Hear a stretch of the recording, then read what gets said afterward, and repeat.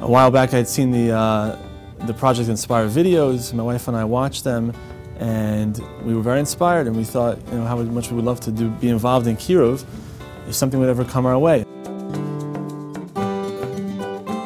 Toyota gas pedal recall is expanding this morning. On Wednesday, Toyota called another 1.1 million vehicles. They have accelerators that may get stuck on floor mats. I had to take the car to be serviced to have this recall problem. Entered in there, I was late, I sat down, this woman across from me, and she was doing the paperwork.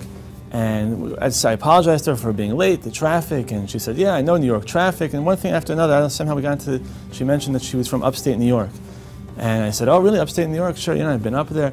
And she said, oh, do you know the temple in upstate New York in Middletown? I said, temple? I said, you're Jewish? And she said, yeah, and my mother's Jewish, my father's not Jewish. And my grandmother, you know, her dying wish was that someone in the family should practice Judaism. And no one ever has done anything. The last Jewish experience I had was my bat mitzvah. The rabbi put the talis around me, and I got an aliyah. Then I thought, this is an opportunity I have to invite someone over for Shabbos. And I was very nervous. I was sweating at that point. I didn't know what to do. This is my first time really inviting somebody off the street, a Jewish person, to an experience for Shabbos. I, I spoke to my wife, and we decided we are going to call her up and invite her over for Shabbos. And we called her, and she accepted the invitation right away, without hesitation. And she came, and she joined us for Shabbos, and she was blown away. And we didn't have to do anything crazy. We just, the gefilte fish and the kugel and the chicken spoke for itself. And she had questions, and there were answers for her questions, and she had an unbelievable experience. And I gave her any books I had for beginning Judaism. She took home with her. We packed up challah and kugel and gefilte fish and sent her home with all that stuff. And she was blown away. And she called again, and my wife has been in touch with her, and she's coming again for Shabbos. And she's been learning, and she's starting to learn Hebrew.